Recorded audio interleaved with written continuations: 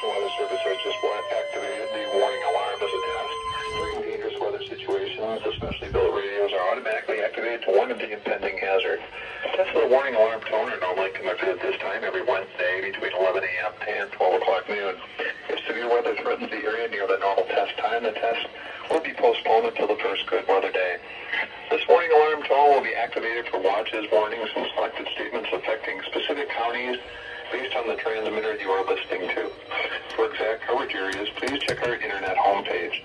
Of the warning alarm tone will vary at any given location, especially at greater distances from the transmitter and in large buildings. This concludes the weekly warning alarm test. We now return to our scheduled